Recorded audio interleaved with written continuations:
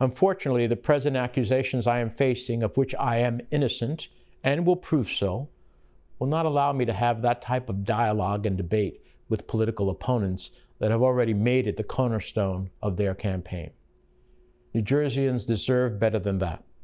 You deserve to hear from those who wish to represent you about what they would do for you and your families in the future.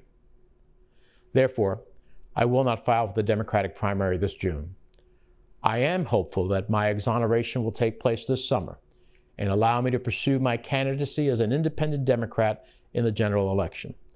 This would allow me the time to not only remind New Jerseyans of how I've succeeded in being your champion, but how we will secure our financial futures, meet the challenges of raising a family, owning a home, provide for a college education, and secure a more peaceful world for all of us to live in.